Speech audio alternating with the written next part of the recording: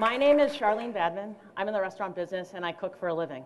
This is a picture of me at the age of 12. Early on, my experience with food was poor. I remember going to school where we would be served things like Frito pie. This is a dish where you this is a dish where you open up a bag of chips, stuff it full of chili, cheese, and top it with some onions so you have a vegetable. At, at home, my mother was young and we did not have a lot of money, so uh, we just didn't have a lot of resources.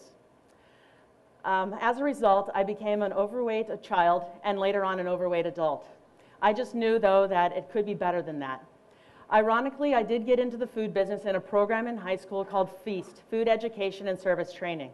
I continued working with local chefs, uh, working up through the ranks, and eventually owned my own restaurant in Manhattan. Five years ago, I moved back here to Phoenix, and I weighed over 300 pounds. Let's just say New York was good to me. I would work all night, drink a bottle of champagne, and then uh, go out to eat dinner, turn around, and uh, wake up in the morning, go to the farmer's market, order the nine, number 14 Chinese lunch special, and then do it all over again. Two and a half years ago, Pavle and I opened up F&B. So here I am, a successful chef. I've been in the business for 22 years, and I've continued to have poor eating habits since childhood. It took somebody actually asking me why I would cook nutritious, healthy food for other people but not take care of myself. It was true. There was this disconnect between feeding other people and not nurturing myself. It opened up my eyes and made me think about where this had started. I, made, I started to focus on my eating habits and make a change. I started to drink less, eat more fruits and vegetables, and, and exercise more. As a result, I've lost 125 pounds in the last two and a half years.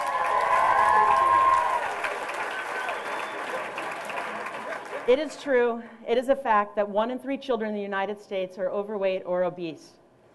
It's also this thing that we're doing right now that it's very popular to uh, change our school lunch program and a popular bandwagon to ride. But it's just not something that interests me because I do not have any children. But I do know that nothing is going to improve unless the squeaky wheel garners some attention, garners some attention, and makes a plan and, and puts something into action. So when the vice principal of Arcadia Neighborhood Learning Center came into the restaurant and asked if I'd be willing to teach a class in the garden, I jumped at the chance, even though I did tell her that I did not like children.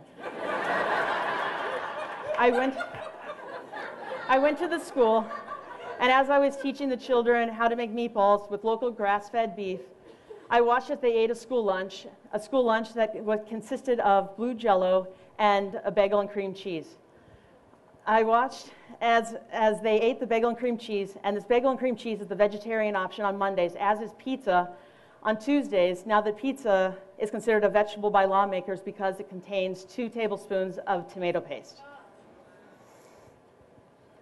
Uh, sorry.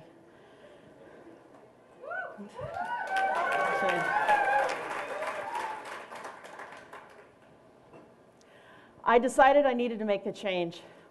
I went, I went back to, I wanted to go back to the school as possible, as soon as possible, and I wanted to make a change.